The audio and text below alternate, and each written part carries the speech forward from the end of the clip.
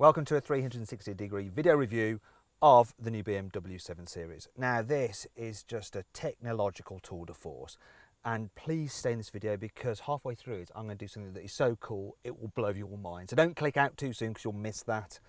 Now like I say this car's full of tech. I mean look at this right. So I have got around cameras with gesture control. So if I do that look see I can look around the car. We've got a virtual car there. It's a bit like I'm playing Gran Turismo. Look, look at that, look. It's, it's just insane. There we go. Right, go above a certain speed and it switches off there.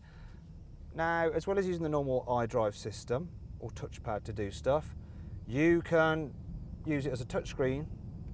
Look at that.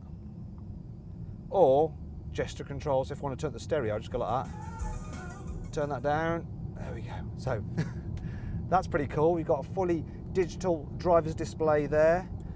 And on the whole, this is it's a fantastic car.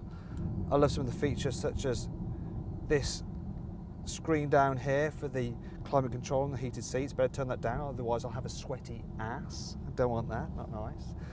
Although I could always call my butt off with the air vents there. Also, you've got, look, look at this, ionized air. So the air is as pure as if you're on the top of a mountain and you can have it scented if you want to. But the coolest thing I'm going to show you right now, this is going to blow your mind.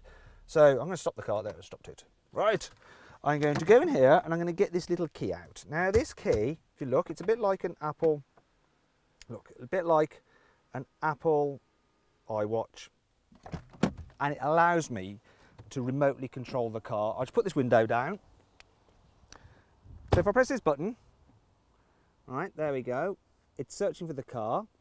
The key is connecting to the car, it's connected. Now if I press this button on the side and hold it down, oh wait, there we go.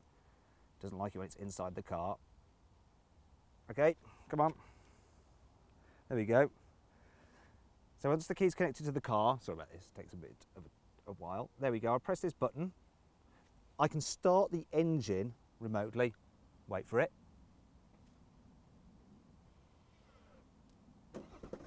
Okay, that's cool.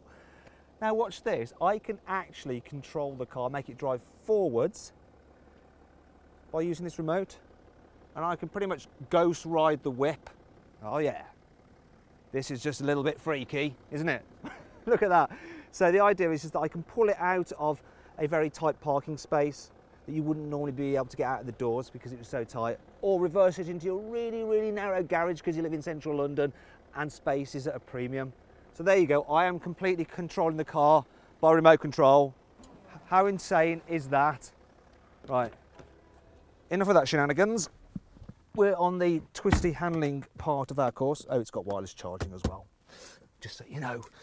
So like I said, on the handling part of our course, let's just put the window up. There we go. Let's start the car. God, I'm getting all confused by the text too much. Go on window. Right, here we go. So 7 Series. Put those mirrors out. Always was the sportier of the limousines. However, for this new one, BMW have gone a different tack. They've tried to match the Mercedes S-Class in terms of comfort. It goes around corners all right, but it does feel a little bit more barge-like than the previous 7 Series.